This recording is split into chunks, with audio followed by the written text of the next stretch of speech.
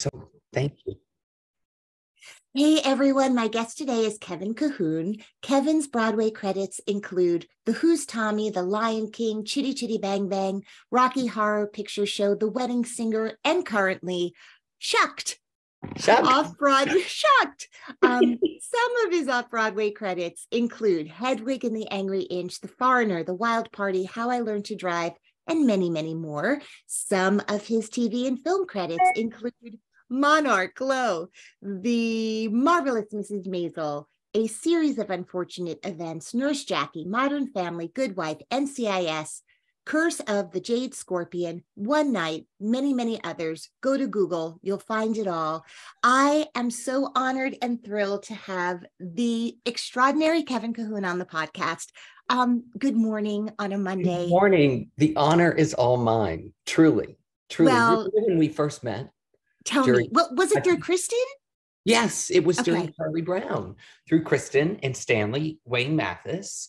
And that was it. And I've just been such an admirer and fan of yours for all of these years. And I'm so happy to be here.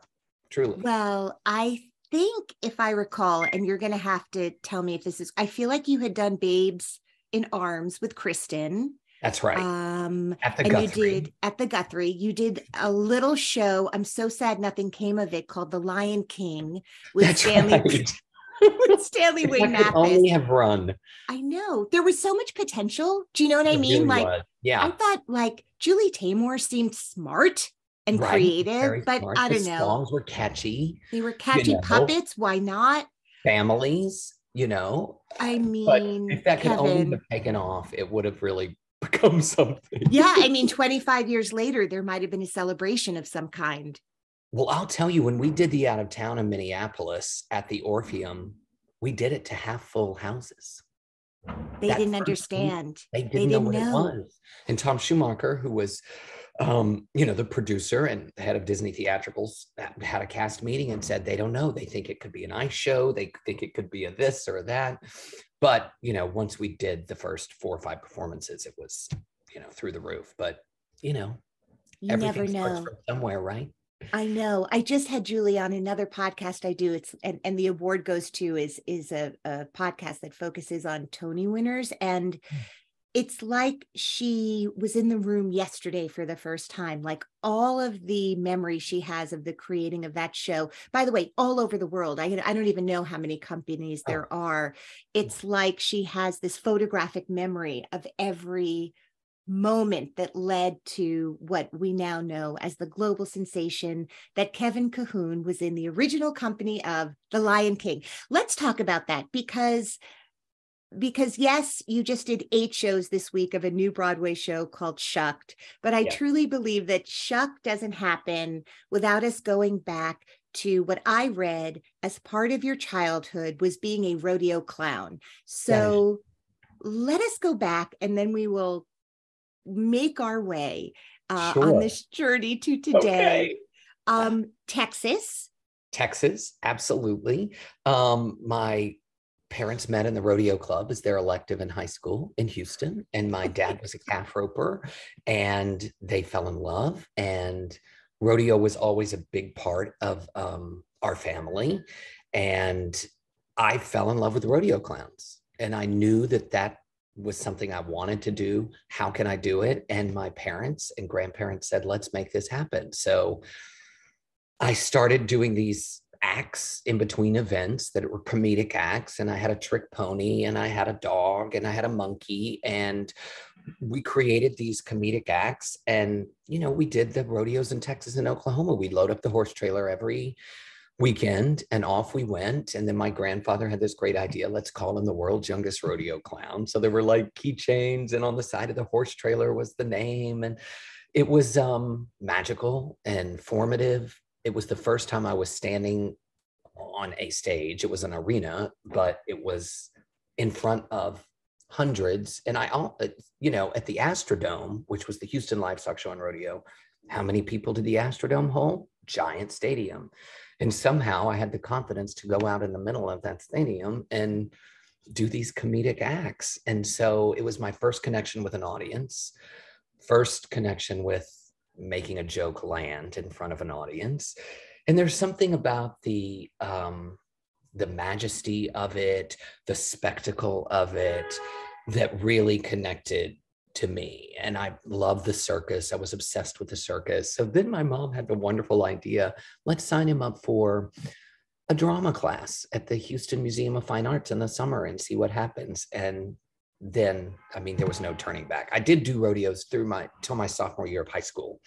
Um, but that's when i started doing theater under the stars in houston. And um, it was incredible. I fell in love with the theater and i fell in love with musicals and i just became obsessed. And i was rodeoing and doing theater at the same time which i don't think is a common thing. And then you know No. I, you know no but also i think there's a misconception you know if if you live on like the east coast or the west coast i think there's a misconception and you have just debunked this myth Mhm. that if you are a person interested in rodeo your other passion might be monsters trucks versus musical theater right but the idea that your mom had this understanding that both worlds could exist as Mhm. a passion for someone um, really shines a light on ideas and misconceptions people might have about a very myopic focus in life about what one can and can't do um, you know i've had a lot of people from texas on this podcast i've had john benjamin hickey i've had michael Urie um, love them all love them all Love them all. Julie White, like so many. I mean, Texas is a breeding ground for extraordinary talent. Um, talk to me about, first of all, when you say landing jokes as a rodeo clown, like I pictured a lot of like, I don't know, Bill Irwin and and sort of non-verbal uh, clowns don't often speak. So tell me about like, can you remember? And then it'll just directly shoot to shucked where it's one liner after one liner after one Right. liner by Sir Robert Horn. yes. Um, tell me, like, do you remember any of the jokes that you told? And how old are you when you are rodeo clowning? i st- five to 15 Okay, teeny the- tiny, started Yeah, teeny tiny. tiny little little little Oh my god! and there were there was a there an, there's an announcer at a rodeo. So we would have scenes that were pre-written that the announcer and i would go back and forth. I didn't have a mic on. So i'm sort of telling and he would pick up oh you're saying that back and forth back and forth. Okay, so there is that. That was the first scenes i ever did was with an announcer at a rodeo. Um, and then there were also comedic acts like there was sort of a you know there were, a lot of animals were involved in the acts. Sure. um, absolutely. And my monkey would ride the dog and run the barrels, which are in the cloverleaf pattern. right. Um, there was like a shootout where I would shoot this clown with these pistols, and then he would have water that would squirt out of his coat. And then I would like, oh, I've succeeded. And I go to exit, and then he shoots me, and there's like a, a bomb in my pants, like a powder bomb. That's sort of the kind of, and they were all, you know, three minutes, like nothing Okay. longer, because Okay. it's just to set up for the next event. It's a dying art form because now they just show commercials on the big screen. right, right, right. Um, but it really was, it was just the most, for, I'm actually wearing my dad's um, belt buckle, his calf roping buckle from 1968 tomorrow night to the opening. It's just taking a little part of him. Wow, wow, how Yeah. beautiful, how beautiful. Is your dad no longer with us? No longer with us, um, but um, you know, I, I do, I feel him tremendously at Shucked because it's the world that I am from and started in. And Yeah, you know my both of my parents spectacular and both sets of grandparents just did everything they could to encourage this unique only child and like let him fly and you know which is just a testament to them truly yeah. It's incredible. yeah I yeah. mean, I also read that you won Junior Star Search. i did So can we? Uh, of course you did. Of course you did. Unicorn. It's So so so how did tell me about like how does that happen? Yes. Okay. So I'm 13 and I'm in Houston and I had an agent and I would do local TV commercials in Houston. And the agent said to me, Star Search, which was at the time like the Sam Harris had just had his giant debut season. It was the next season. They decided to do a junior show, my agent said, Do you want to sing some song? No, she said to me, Do you want to be in the acting division on Star Search? I can get you an audition. And I said, No, I don't think the acting division is right for me. I would like to sing. And she said, Okay. So I sang for the audition. Next thing you know, I got it. And my mom and I were off to LA. And I I won it. I was the grand champion of Star Search and singing show tunes, which everyone thought, oh, well, this will never happen because they're going to be singing Journey and Cyndi mm. Lauper and Michael Jackson and pop songs. But I knew that I wanted to sing some people from Gypsy. so who knew? And that's it was the season with Sinbad and Rosie O'Donnell. And that summer we did a show called The Stars of Star Search, which sort of did the Catskills um, uh, you know, tour, whatever that's called. And that was fun and incredible. And, you know, then I went back to Houston and went to high school. so, how did you get to New York City? Well, I got a manager, Edie Robb, uh, Station Three, still my manager to this day, as a matter of fact. Um, she's brilliant and wonderful, and they're like family to me. And she saw Star Search and I, I, signed with her and then I that's what got me to New York City. And I was here, I would fly back and forth sometimes for auditions and live here in the summer. And then I went to NYU when I was 17 and studied acting at Tisch at Circle in the Square, which I learned so much about myself and this and life. And I think going to college in New York is such an incredible thing to do if you can, because you're introduced. I, w- I went to acting school at Circle in the Square with Roper cowboy boots and Wrangler jeans on. So, and what was the reception? I mean, they all, I mean, we were all friends. We just loved each other. And, you yeah. know, there's like an acting class with people for two or three years to sort of really connect you in a way. And are you living in a dorm? Uh huh. I lived at okay. Hall at NYU for the first two years. And my roommate was Sean Baker, who is legendary filmmaker of Tangerine and the Florida Project and all of those incredible films. We were roommates. Wow. Um, Sarah Silverman was down the hall. You know, it was just awesome. And I was just, you know, I loved musicals and I was wearing cowboy boots. I just... know, I know. But like there you were, you were being yeah. completely your authentic self and embraced. And in New York, in those cowboy yeah. boots. New York City. I know, I know. I know, I know. Was it um I mean it sounds like you'd been back and forth a little bit to audition. Yeah. I'm sure you saw Do you remember the first Broadway show that you saw? Cats. Yes absolutely.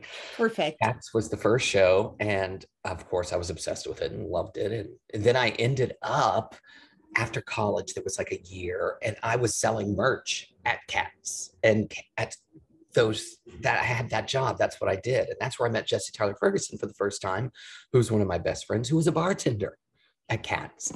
Um, and you know, it's just incredible the people that you meet, the people that you know, and then life goes on and you stick with totally. it and going and you watch each other grow and evolve and yes it's magical and also handle like some people breaking through before you and holding That's on right. to yourself and your own journey and going like all right i might have to sell merch a little longer but That's now right. i'm selling 100%. merch for my friend whose show who's on broadway like it's That's it's right. tricky um so how did you make your broadway debut like what was the breakthrough moment it, it was Tommy, and I love everyone was in that production. Like that was the most amazing group of people. Incredible thing, and I was yeah. a replacement. I went in about nine months after the opening. Okay, who did you replace? I replaced Paul Dobie, the great Paul Dobie, and I was so obsessed and I wanted to be in it so bad. And I went to every single open call, and they would cut me after the dance call every time. So finally, Wayne Cilento told Joyce Chittick, who was the dance captain, take him in the hallway and teach him how to do a double turn. If he can do a double turn, we can give him the job. And she wow. did. She wow. taught me to jump out of it as opposed to trying to like spin on the toe. Wait, but like in the hallway or like in the hallway come back in a couple of weeks? No, no, right then. In the hallway at 890. In my said, cowboy boots. Take him totally take him outside and teach him how to do this. And she and you did it. could.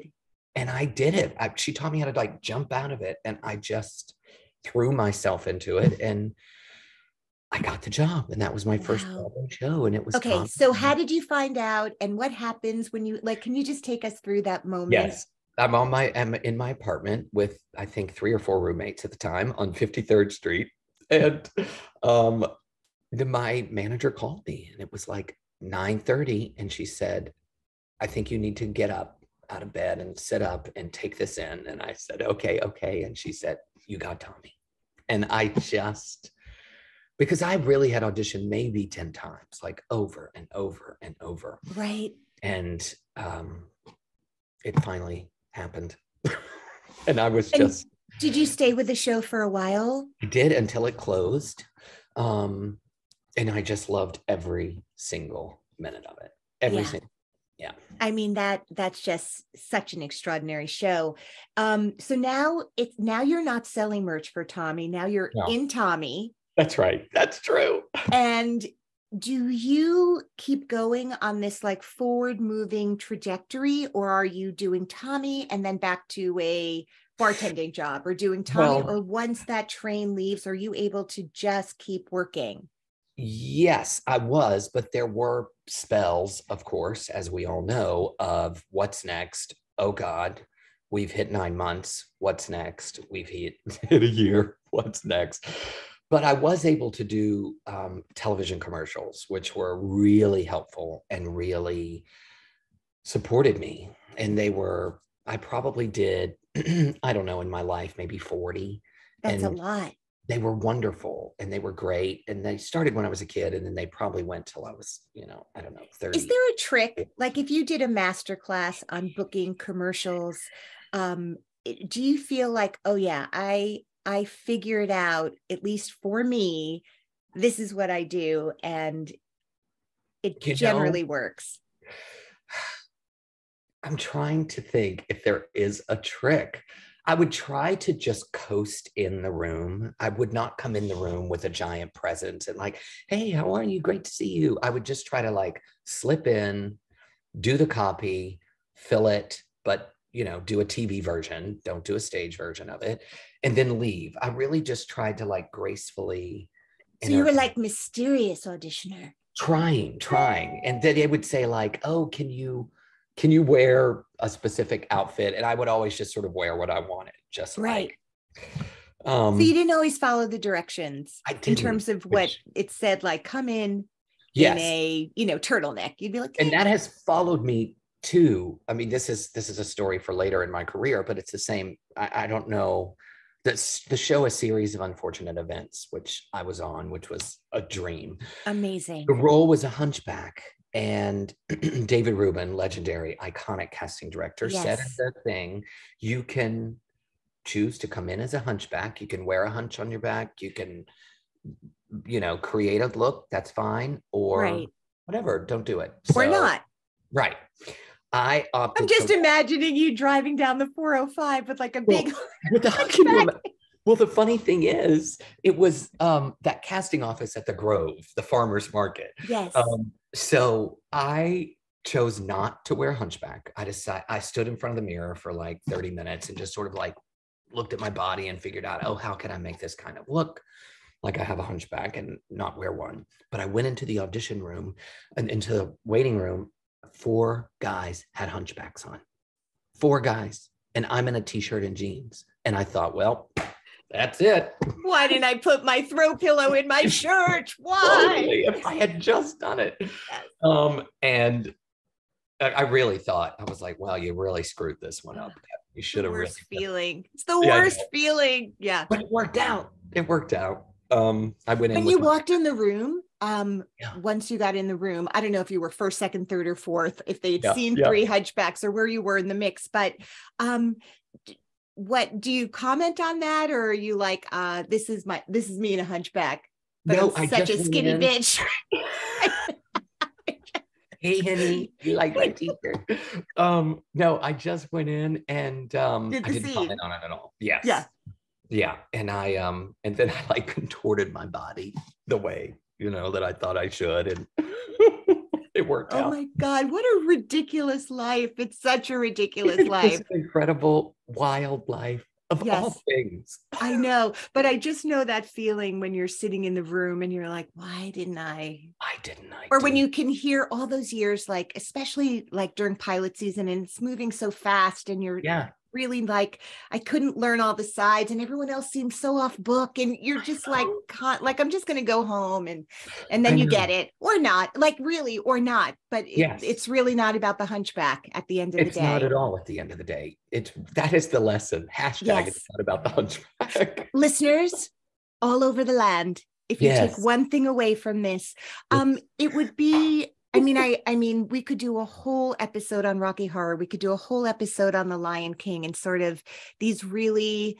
um touchstone roles that you've had along the Yeah. way Yeah. but i i feel like i would be remiss not spending a little bit of time because i do believe it opened doors for you in many ways which is hedwig like Ah. just the beauty. I've known john cameron mitchell since he was sitting in a cafe with a little pad and i was like what are you working on? And he's like i have this idea for this character hedwig. I mean that's how early days like pen pad and sort of describing it to me this like he's like i don't know it's just this crazy idea i have and i want to try to you know when we were all beginning and thinking oh do we have to write something for ourselves? Sure. Oh, because how else are we going to be able to show people what we do and that's what he came up with and guess what it was a really good idea he changed the culture. changed the culture It's prophetic. globally like not just the like Yes. like like a global culture shift so you can correct me if i'm wrong because it's your story but i feel like whether it's myth or true you were Mhm. in the lion king when an opportunity for hedwig is Yeah. that right or am i making this up absolutely 100% Okay. correct. and so I love the, the theater. story goes Yes. Anytime I can go to the theater, I'm going to go. So on my Sure. night, I'll, if something's playing, and I had heard about, I had met John at a voiceover audition, and I, of course, I had seen him in Secret Garden and was obsessed yeah so beautiful So I went to um, see this little show that had just started, and people were talking about, and I saw that. was it at the westbeth or at the jane at the hotel do you remember like had- how it was at the early days previews at the Jane. Okay. Um, and I went and I saw it and I thought, oh, I have to do this in some way. And I called my agents and they said, they called over. They don't really see you as that. And why would they? I was like the nerdy, crazy hyena and the Lion King. Why would they ever think that I would be able to do something like that? So I went to this is a crazy story. I don't know how where I got the guts to do this, but I did it.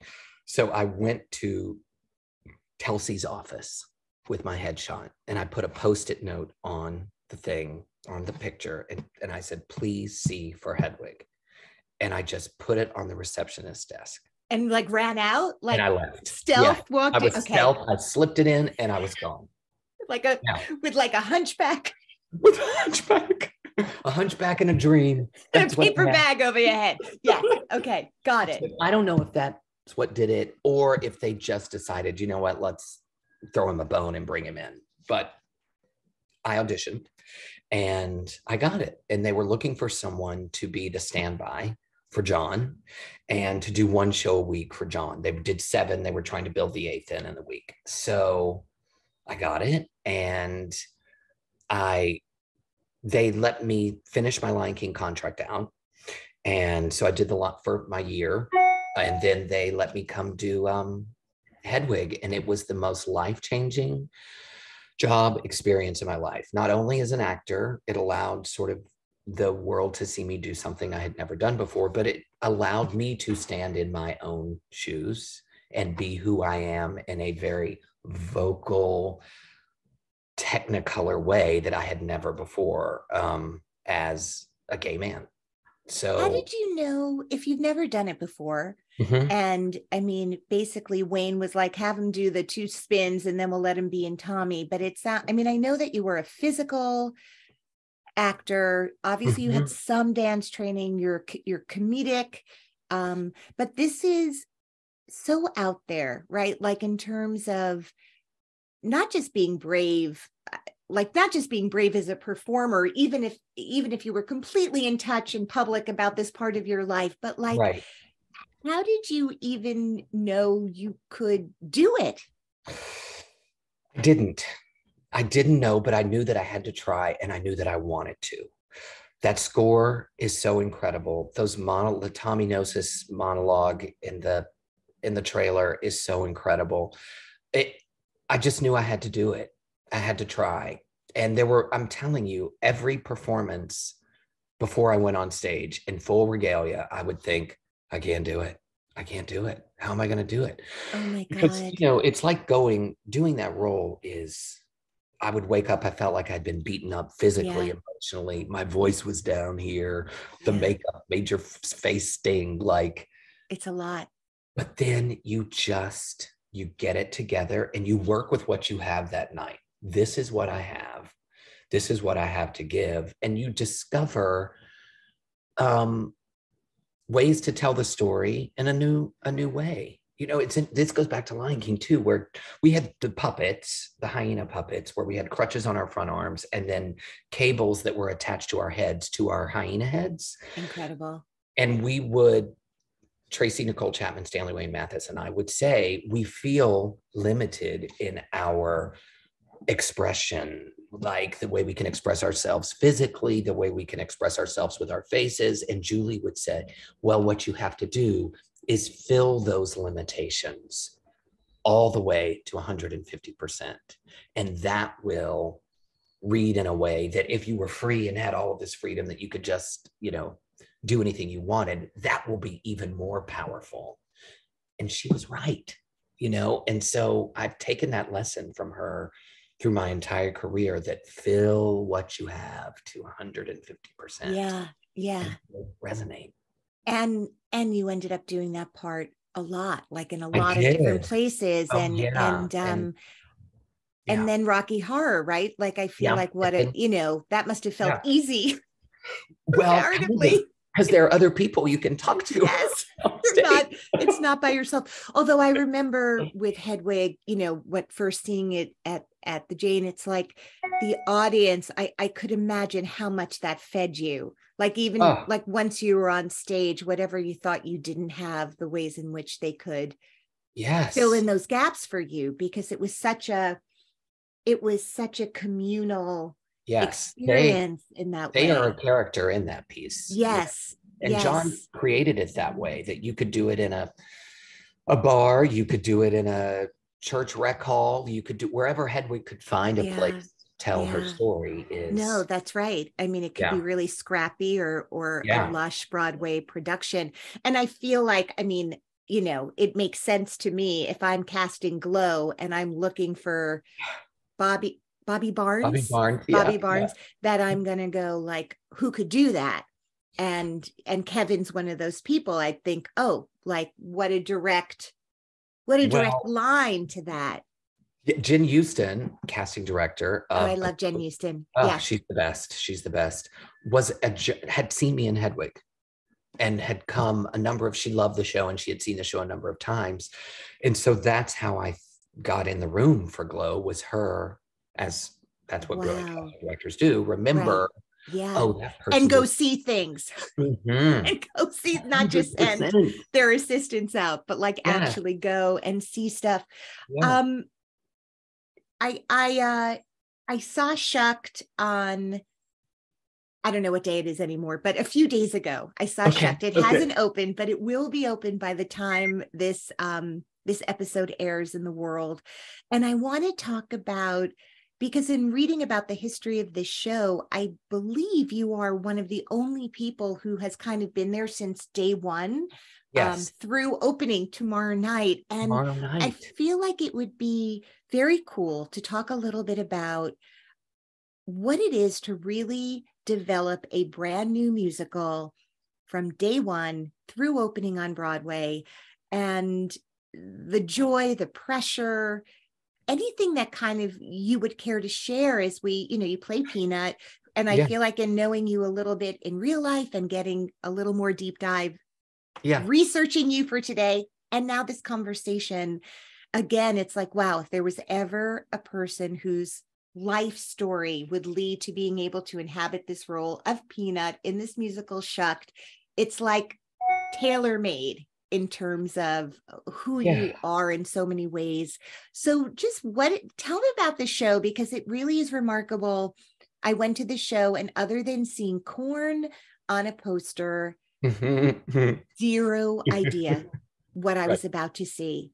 Right. Yes. Well, it's the I I, I treasure this. I, it's been nine years that I've worked on this project. I read in the New York Post, Michael Riedel's column, that they were trying to make a musical of Hee Haw. And I thought, oh, hmm, this is a world I might be able to find my place in. Again, agents called over. They said, we're really looking for a different type for this role. I think they were looking for like a, a Bubba type guy, you know, like a country. Mm-hmm. Um, and uh, so you walked into the casting office with your headshot and a little post-it that wrote "See said, me for Peanut," Peanut, whose name was Junior Junior at the time. It was exactly. not Peanut. So it was two post-its. That was junior, two Junior. Junior. yeah, you flip the one post-it up and you see the other Junior. um, but then I ran into my friend Stephen Oremus, who at the time was involved, and he was like, "They won't see you. Let me see if I can get you in." He got me in. I went in. I got the job, which of course was just a series of readings at the time, didn't have a production. And then we did a Dallas production, which um, was informative and important, but not right. Um, and then we went through years and years of uh, trying to figure it out. They have they replaced um, Brandy Clark, Shane McAnally, and Robert Horn are the three writers, and they were steadfast about getting this show to finding its audience. And Brandy, Shane, Robert, and myself are the are the ones that have stayed with it this entire time. And there's been, you know, Jack O'Brien's on board now, Mike Bosner's the lead producer, and it finally found its way in the world. And there were so many times where I thought, well, this show's not going to happen because there was a pandemic. Yeah. You know, there was, you know, after Dallas, the reviews were not great. And will this show ever find its voice and its place? And it did. I, I really, it, yeah. Tell me as you have gone through eight years, which is like, by the way, not the the longest road for a show. Like, like like when you really think about yeah. it i mean this is not abnormal right. um this is almost like a fast track compared to what other shows relationships well, to getting to broadway have been but that's still true. when you're in it day to day and obviously you you know you went off and did a lot of other really remarkable beautiful performances in the in the meantime. I have really been thinking a lot about this show. It was astonishing to me um, because i think most people came in it's sort of just been word of mouth. There's not a lot about it out there right now. And when I tell you the the amount of laughter to the point where you would sometimes miss the next line because yes. people are still like literally rolling in the aisles and these are not drunken people like these were people who came right. to see a show sober right were literally like a- apoplectic and yeah. I want to know, like, what is this show? Tell me what you think this show is. What does it want to do and be? What is the hope in terms of, like, you know, on the first day, I always ask directors who come on the show, like, what do you say to your people on day one? Right. You're captain of the ship. What's yes. your dream for this voyage? What is the dream for the the aside from laughing so hard where I'm not kidding, like that yeah. alone, right? I mean, yeah. what else do you need? You're giving people right. an outlet to be happy for two right. hours and 15 minutes. Wonderful. That yeah. alone, like we'll take it. But I'm really curious, like, what is what is it? It's a show that says we are stronger together in this divisive world where we're all on our phones and we're all on our devices. You are coming into a show that you know nothing about probably people on stage that you know nothing about. Probably if you met these people in real life, you would think you would not want anything. You know, they're just, they're, it's about it's south of north and north of south. That's what it says in the text as where we're located. And it's i've had so many people at the stage door say i'm from iowa. I'm from nebraska. I'm from ohio. This is the first time i've ever seen a musical where it felt like i was watching my friends and it was my voice Eh, which is very interesting because it also has a very very inclusive message about diversity loving each other accepting each other the heart is so bright and yellow in this show that you even when you walk down 41st Street, like the marquees and the it's it's so bright and I think everyone feels welcome. I think everyone sees themselves in the show. It's those three writers are geniuses and they have tapped into something so pure and so common and Jack has guided it in such a beautiful way. And what could be, you know, just a corny kind of country show, he has gracefully just taken his paintbrush and everything is just. I did a lot of research when I was figuring out who Peanut was with these old country comedians like Minnie Pearl and Jerry Clower and these comedians who at the time you know, this was black and white TV with, you know, and radio, really. Minnie Pearl started on radio. They were a comedic voice for people who'd never had anyone represent them. This was a, this, they were a conduit to reach a certain number of people to say, Oh, I know your everyday thoughts and feelings. I know what you're going through. And it's simple humor. It's simple. There's nothing cerebral about it. I mean, it's smart. You have to think about it, but it's about my character Peanut is like, you know, if you can fit your dog in one hand, you own a cat. It's that kind of okay by the way you have i mean i i do not have script in hand but let's say you have a thousand one liners um a you know i was thinking i was recently offered a, a play a moliere play which is rhyming oh. couplet and i'm like okay but if i go up how do i i how, i can't solve the problem right, right. like unless i'm like you know Lin Manuel and can come up with a rhyme in two seconds. It's just as good totally. as Moliere's, which I'm not. So, have you ever? I don't know. I don't know. You might, might, be. You might. I be. might. Ilana Manuel Miranda. Um, what? What have you had to do to? I mean, maybe you never go up. Maybe you're an actor who never thumpers, as my mother says. You can't see me, but you can hear that. That's me. Like, have you have you been able to land them every time without well, sort of because it's mean, the gentlest mistake and the whole thing is like er, that didn't land. Yes, and if you take a breath, if you take a breath in the wrong spot, you're out of luck. You're out. Like, yeah. Yeah. Okay. It is so just, you know that now, eight years later, if you've learned yes. one thing, where to breathe. Well, and New York audiences are different too. They laugh different than a Salt Lake City audience. Huh. They laugh. Like, what do you mean by that? Like, how, like, where and like what tickles them? Yes, what tickles them. When we were in Salt Lake City in the fall with the show, you know, there's very blue humor in the show and salacious ideas. And you would sense that audience clutch their pearls and go laughing on the inside. Yes. As opposed to New York, where there's uproarious. Oh, they're dying. They're just, dying. They're dying. They're yeah. dying. Is that the greatest um, feeling ever? There's nothing better. There are you just like, are you just high from this show? Yes. I can't go to sleep till like 2 30 in the morning. Yeah. yeah. Incredible. No, I can only imagine.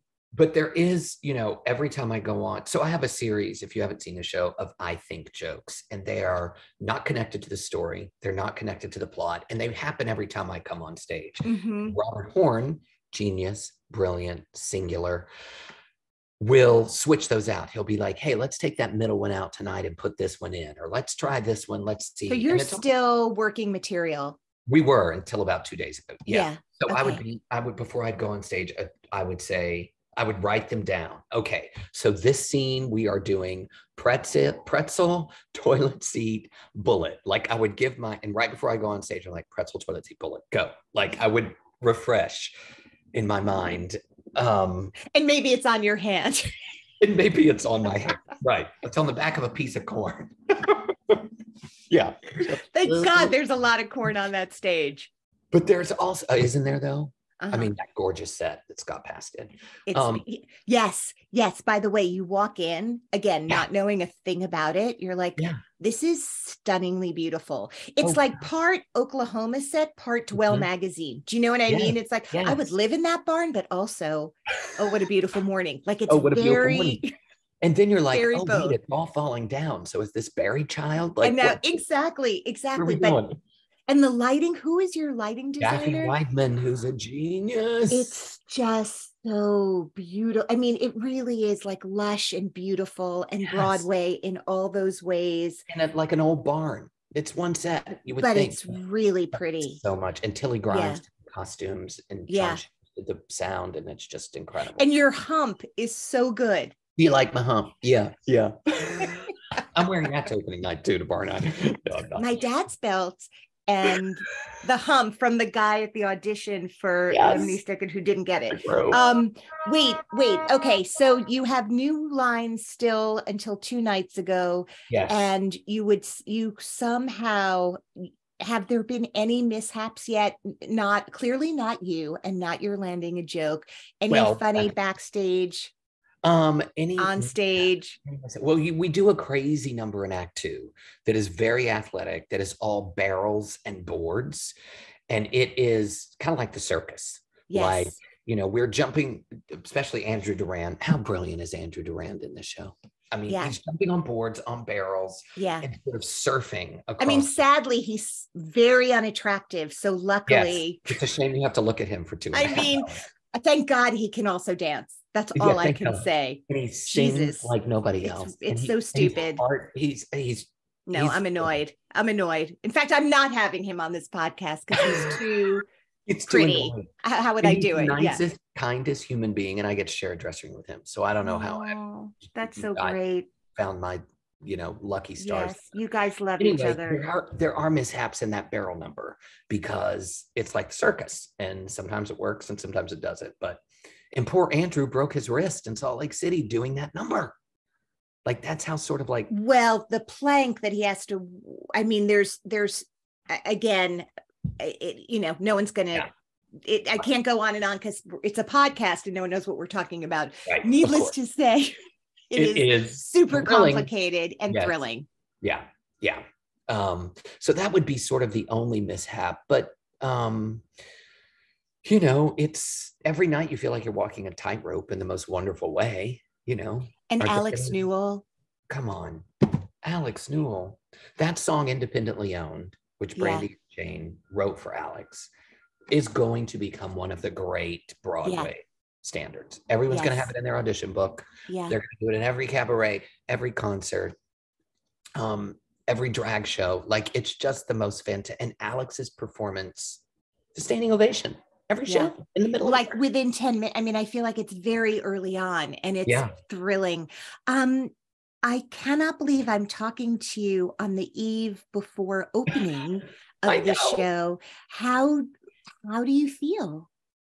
I feel um, so full of emotion and gratitude. Gra- that's it. I am so grateful that I'm an actor. I'm so grateful that I'm an actor in New York City. I'm so grateful that I'm an actor in a Broadway show, in a brand new original musical that I get to sort of give the first stab at Peanut at. And I'm so the and I say this all the time. If nothing happened with Shucked, at least I walked away with friendships with Robert, Brandy, and Shane for over the past eight years, Yeah. who have become my nearest and dearest, most wonderful friends. And now with Andrew Durand and all of this, it's all about the people. That's what it's all about. Like who Mhm. you take with you at the end of the day, and you know who who it like what started at the beginning saying like all of your friends that you come up with and that you travel through this show business life with that is so Yeah. Inconsistent and peaks and valleys and heartbreak and triumph it just it's all about the people and it's all about the people Well, before I let you go, is there a little known fact about you that you can share? a little known fact like Mhm. a, a good fun secret fact um um um oh this is so good this is probably known, but there really is no place I'd rather be than the theater. Watching a show, sitting in the audience, having the good fortune to be in a show. Um, I mean, even walking by a theater gives me a thrill. Like it's just, it's, I, it's just, I love it more than anything. Kevin Cahoon, thank you for being on the podcast today. I'm so honored. I cannot thank you enough. This was the best 48 minutes of the of the week so far. Thank you. Well, I hope the next 48 are equally glorious and thank you. Break a leg tomorrow night. And thank you um, so much. I cannot wait to give you a hug in person. That's I can't wait. I feel. Let's All make right. it happen. Okay. Mwah. Thank you. Bye. Bye.